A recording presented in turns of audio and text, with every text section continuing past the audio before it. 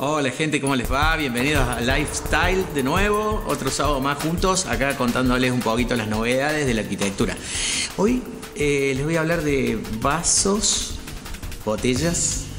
¿Tienen algo, algo que ver, vasos y botellas? Sí, vamos a hablar de bares. Pero no nos vamos a ir afuera, nos vamos a ir adentro de la casa, los bares adentro de la casa, las bodegas adentro de la casa. Espacios divinos para hacer y para fantasear con todos los elementos que querramos, madera, vidrio, eh, piedra. Tenemos varias alternativas que les estoy empezando a mostrar en imágenes en donde nosotros podemos, por ejemplo, debajo de una escalera, hacer una bodega toda vidriada, transparente, en donde ponemos todas las botellitas y todas las copas colgando.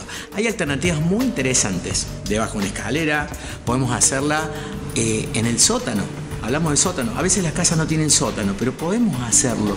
Podemos hacer un hueco. Yo tengo clientes que han pedido que en su propio living se haga un hueco, así como, como lo, lo escuchan, un hueco en el living, sacan el parquet, hacen un hueco, se rellena todo, se hace todo un tratamiento, por supuesto, de aislación térmica y sobre todo de, humedad del, piso, del, suelo.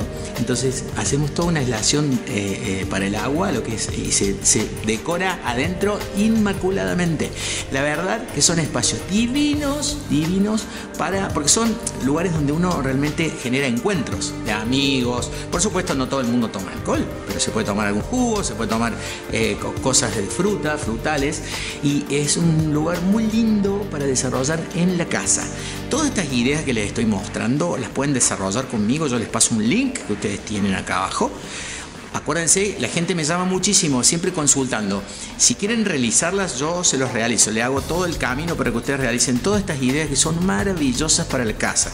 Recuerden que estos lugares no requieren eh, mucha superficie de metros cuadrados, ¿sí? Eh, porque es, eh, las reuniones generalmente para tomar un vino, tomar algo rico, se genera de a 4, de a 6, a lo sumo de a 6. ¿Por qué? Porque si uno ya lo relaciona con la comida, ya uno va a la, galería, va a otro espacio. O sea, esto es más bien para desarrollar una delicatessen en donde queremos degustar algún vinito con los amigos o algún jugo frutal o licuados.